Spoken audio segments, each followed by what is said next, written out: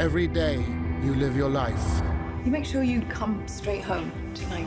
ordinary, normal, You know your mom, she gets like this sometimes. but there's only so long you can hide from the truth.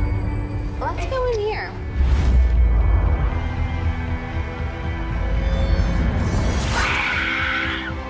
Clary, what is it? You didn't see that? What are you looking at? Why can I see you and no one else can? You're not a mundane. What is a mundane? Someone from the human world. Well, if not a human, then what am I? You wouldn't believe me if I told you. Mom, I'm coming home. No, no, no, you can't come home. You understand me? You don't come home.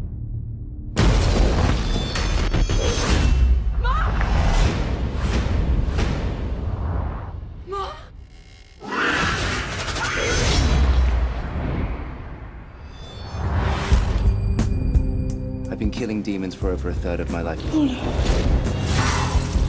killed two cops! They weren't cops! Demons exist across the world in their varying different forms. I don't understand what any of this has to do with my mom. Your mother was a shadow hunter, like him, like you. There's a map inside your head, Clary. You are the key to our survival. What is it about her? She's different. She's gonna get us all killed. What now? I need to pick up a few things. Clary, wow, you look different. I, I can't talk now, sorry.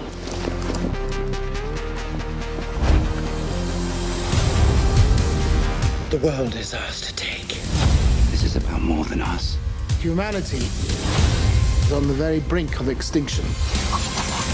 Jace thinks he needs to save the world, There's too many of them. but you don't need to encourage him to do it. Have a little faith.